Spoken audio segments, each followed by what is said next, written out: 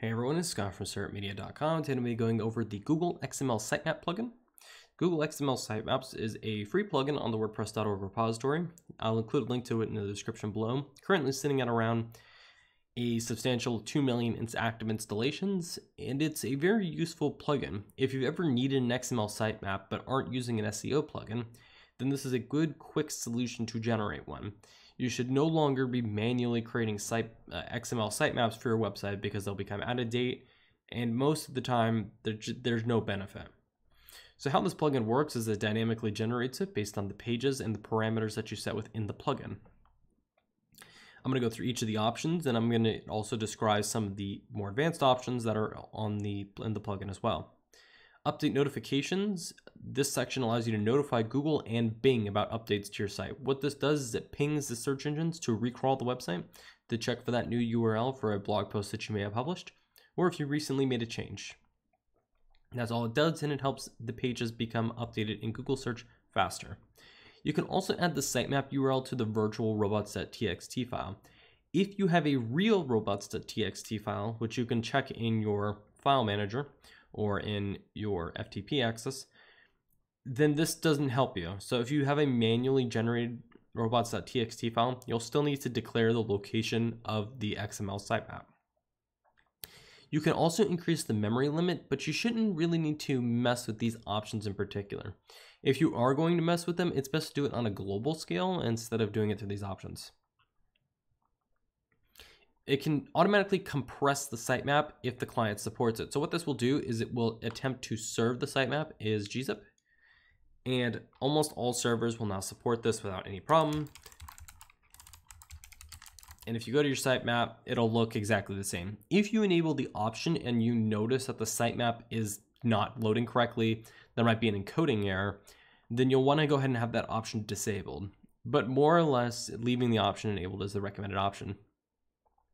You can also modify if you wanted to include an XLST style sheet. So if you want to have a style sheet that you custom wrote, you can include it here or just use the default. This is purely cosmetic and it's only for you. It's a completely open source, automatically generated one that they have. There's no reason to change it. There's not going to be any benefit to you by using a different style sheet because Google doesn't care for the style sheet. You can also override the base URL of the sitemap. So if you would like it to be instead of sitemap.xml, sitemap underscore index.xml, you could modify that here.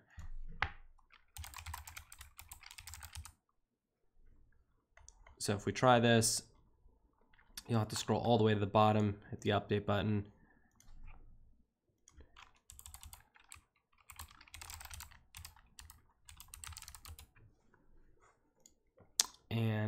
Ah, yes.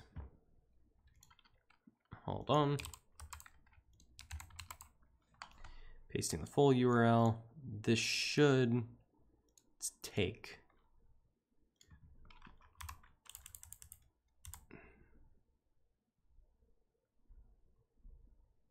Let's just put it in WP content, for example.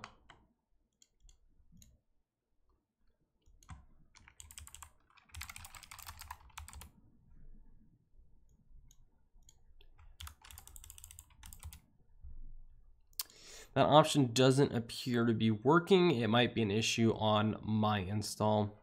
But nevertheless, you can go in here and you can follow the directions for an advanced base URL. And the base URL ultimately doesn't have any impact. It's just purely a cosmetic item once again. I wouldn't really bother moving it around. Then you can also include the sitemap in HTML format. This doesn't particularly matter either it's not really required anymore. And it used to be a recommended practice, like having a dedicated page that was also it. But if you go to sitemap.xml, it's fine. And I believe the URL is sitemap.html, exactly the same thing. It doesn't matter. Ultimately, Googlebot doesn't care, and you really only need the XML version nowadays. You can also allow telemetry data to be collected by them. It's disabled by default. It's truly your choice.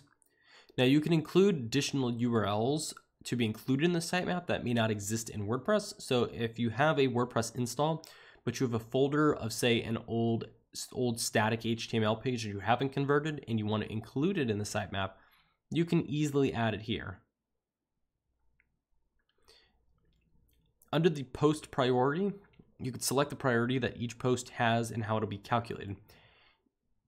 All posts having the same prior priorities nowadays don't matter, particularly search engines just ignore it.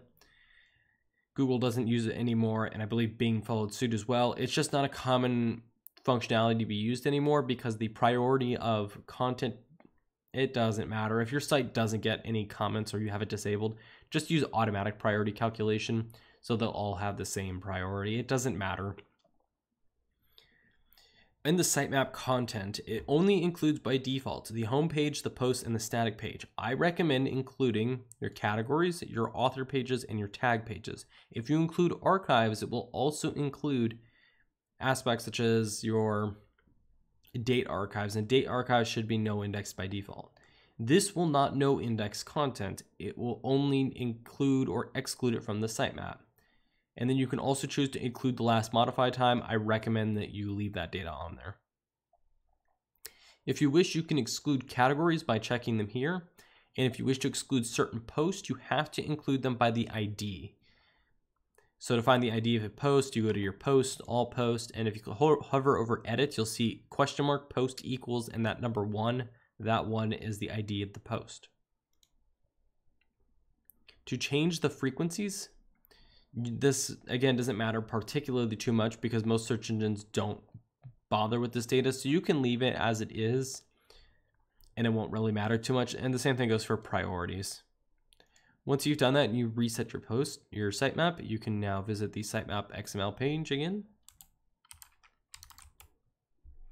And now it includes the authors, the taxonomy category, the taxonomy category, and it should include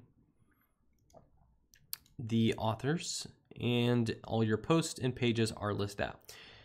The, the only time you'd really necessarily need to use this plugin, as I mentioned in the beginning, is if you are not using an SEO plugin. Almost all SEO plugins now include sitemap generation built in.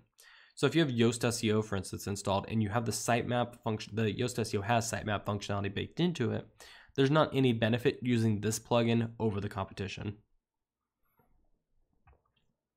Otherwise, that's basically all you need to know about the uh, Google XML Sitemaps plugin. If you have any particular questions or if you want to know whether you should use it or one from your specific SEO plugin, you can go ahead and leave in the comments below and I'll try to help you.